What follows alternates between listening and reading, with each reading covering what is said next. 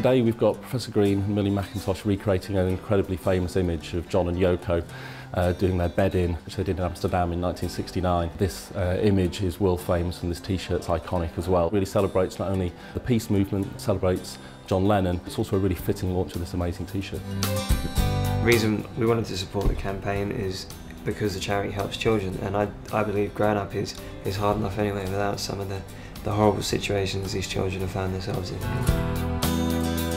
It was really fun. I love the 60s. That's kind of like my favourite era in terms of style, and they were such an iconic couple. So it was kind of very flattering to be asked to recreate it. I was quite surprised I was asked to do it because obviously I don't have the hair or the beard. Uh, but no, it was all for a good cause. So. Yeah. To support the campaign, all you have to do is buy a t-shirt from River Island, either in-store or online, and the profits go to War Child.